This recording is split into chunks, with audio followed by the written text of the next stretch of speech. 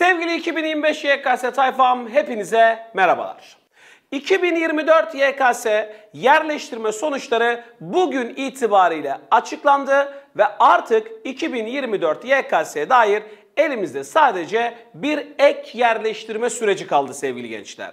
2024 YKS sürecinde lisans, ön lisans, Kıbrıs'taki üniversiteler ve yabancı üniversitelerdeki yerleşim oranları, kontenjanların durumu, boş kalan kontenjanları sizlere anlatmak istiyorum. Buradaki verilerden yola çıkarak 2025 YKS süreciyle ilgili genel bir fikriniz oluşsun istiyorum sevgili gençler. Peki 2024 YKS'de yerleştirme sürecinde neler oldu? Önce bir lisans düzeyine bakalım istiyorum sevgili gençler.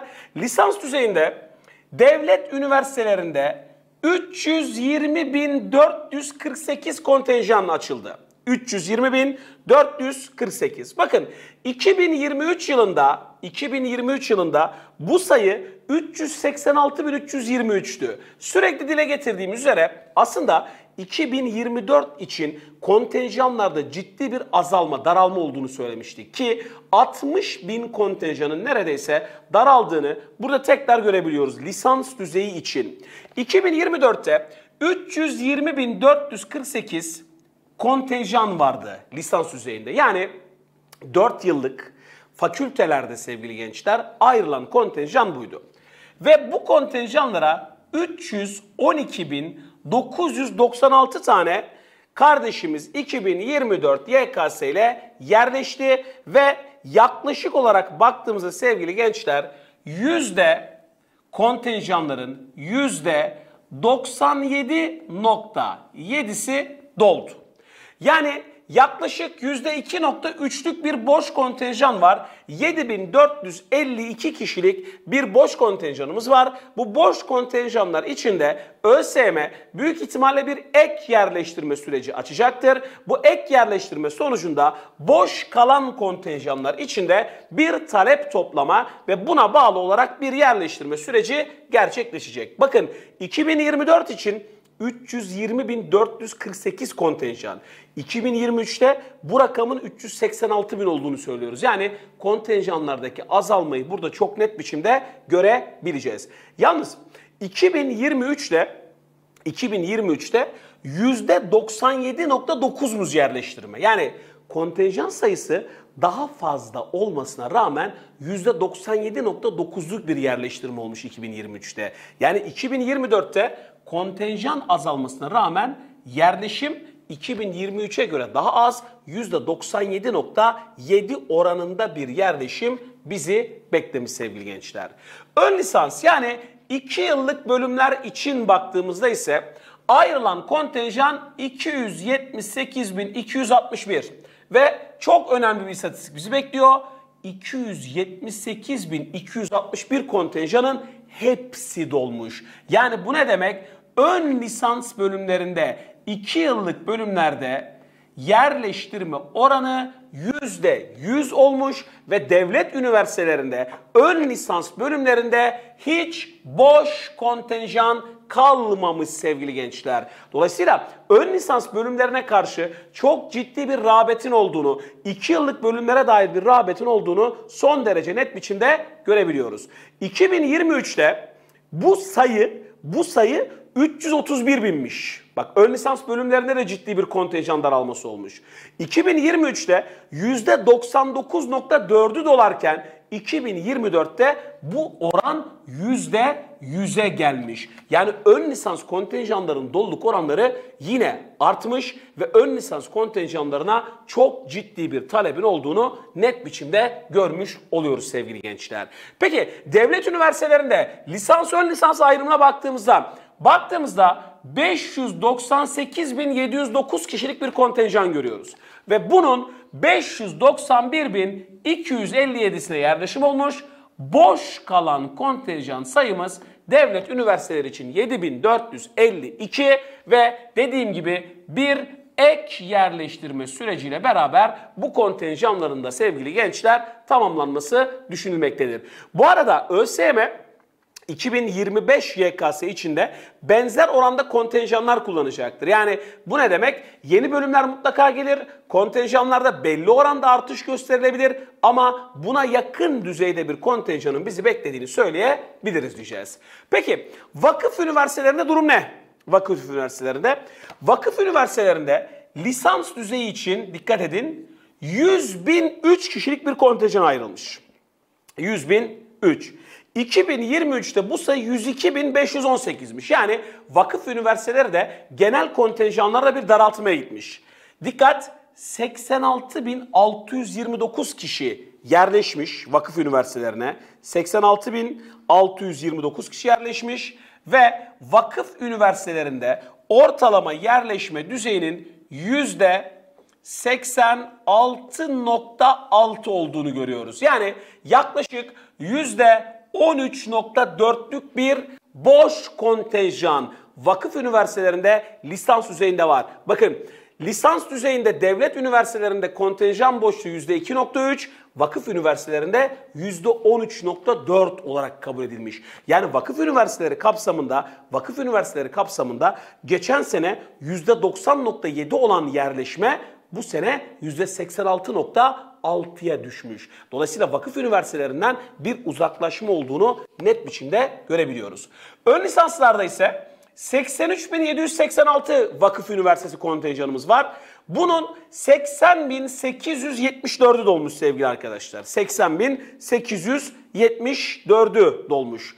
Bu kontenjanlara baktığımızda %96,5'luk bir yerleşim görüyoruz. Ama 2912 kişilik hala boş bir kontenjanın olduğu çok net biçimde aşikar. Ve toplam ön lisans bölümleri için vakıf üniversitelerinde sevgili gençler, vakıf üniversitelerinde ön lisans bölümleri için 16.286 yani baktığımızda ciddi bir şekilde ciddi bir şekilde lisans artı ön lisansta boşluk var.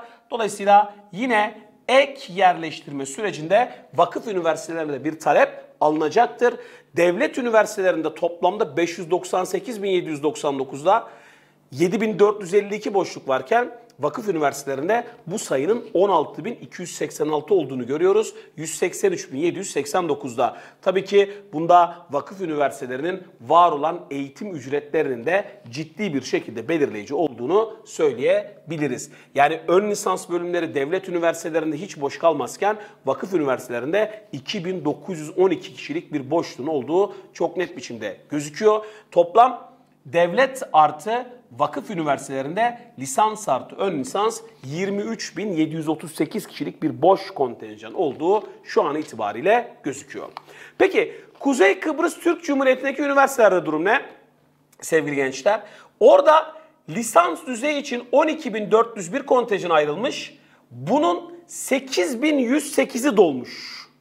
8.108'i dolmuş. Yani dikkat edin Kıbrıs'taki üniversitelerde lisans düzeyinde 4293 boş kontenjan var sevgili gençler ve bu doluluk oranının yüzde 65.4 olduğunu gösteriyor. Dolayısıyla Kuzey Kıbrıs Türk Cumhuriyeti'ndeki üniversiteler lisans düzeyinde çok ciddi bir rağbet dikkatinizi çekerse görmemiş. Ön lisanslarda ise 4344 kontenjanın 4072'si dolmuş. Yani Kıbrıs'taki üniversitelerde ön lisans bölümlerine ciddi bir rağbet var. 272 kişilik bir boş kontenjan kalmış burada. Ön lisans bölümleri için yaklaşık yüzde 93 nokta yüzde 93.7 bir yerleşme oranı var. Yani ön lisans bölümleri lisans bölümlerine göre Kıbrıs'taki üniversitelerde daha fazla rağbet görmüş dememizde hiçbir mahsur yok. Lisans artı ön lisans 4565 kişilik bir boş kontenjanın olduğunu söyleyebiliriz. Tabii ki yine ek yerleştirmede bu da karşımıza çıkacak sevgili gençler. Diğer ülkelerdeki yani yabancı üniversitelere baktığımızda 1138 kontenjanın lisans düzeyinde 497'si yerleşmiş, 641'i boş kontenjan olarak kalmış. Yani talep dikkatinizi çekerse yabancı üniversitelere çok fazla yok. Burada %43'lük bir yerleşimin olduğunu görüyoruz sevgili gençler. Ön lisanslarda dikkat edelim 100 kontenjanın 100'ünün de dolduğunu ve boş kontenjan hiç kalmadığını görüyoruz. Yani yine ön lisans bölümleri lisans bölümlerine göre yabancı üniversitelerde de ciddi bir talep göstermiş. Genele baktığımız zaman şunu çok rahatlıkla söyleyebiliriz herhalde. Toplama baktığımızda sevgili gençler. Yani özellikle lisans düzeyinde lisans düzeyinde 433.990 kontenjanın 408.230'u dolmuş. 25.760'ı boş kalmış. Ama ön lisanslara bakın. Ön lisanslarda çok ciddi bir biçimde 363 binde sadece 3184 kişilik bir boş yer var. Yani ön lisanslara ciddi bir talep olduğunu söyleyebiliriz. Genel bir yorum yaptığımızda ise sevgili gençler 2023 yılına göre kontenjan sayılarında ciddi bir azalma var. Hem ön lisans hem lisans. Sonuçlar birbirine yakın ama 2024'te ön lisanslar lisanslara göre daha fazla talep görmüş gibi bir izlenim söz konusu. Özellikle yabancı üniversitelerle Kıbrıs'taki üniversitelerin lisans bölümlerine ciddi bir boşluk olduğu göze çarpıyor. Ön lisanslar yine burada ciddi biçimde rağbet görmüş.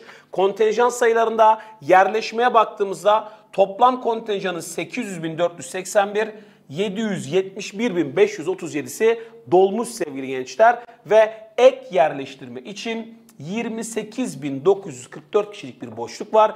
Büyük ihtimalle ÖSYM ek yerleştirme sürecini başlatacak ve bu 28.944 kontenjanı bize açık hale getirerek bir ek yerleştirme yapacak. Sonuçların hayırlı olmasını diliyorum. Bu arada tabii ki tercih dönemi bitti. Artık kayıt dönemi telaşemiz var. 19-23 Ağustos 2024 tarihleri arası kayıt dönemi sevgili gençler. 19-21 Ağustos elektronik kayıt, 19-23 Ağustos tarihleri ise bizim için elektronik kayıtın dışında kalan yüzde kayıt dönemi olarak tanımlanacak. Bu kayıtlardan sonraki süreçte ek yerleştirme takvimi, ek yerleştirme kontenjanları ve başvuru süreci başlayacaktır diye bir tespitimiz var. Sonuçların hayırlı olmasını diliyorum. Bu arada bölüm bölümde bir istatistik çalışmamız olacak ama mesela devlet üniversitelerinde tıp fakültesinin 29 bin yüzlerde olduğunu görüyoruz. Yani tıp fakültesiyle ilgili süreçler 29 bin yüzlerde artık kapatmış devlet üniversitesinin. Hukuk fakültesinde ise yaklaşık 65 binleri görüyoruz. Yani eşit ağırlıkta hukuk fakültesi 65 binlere kadar gerilemiş.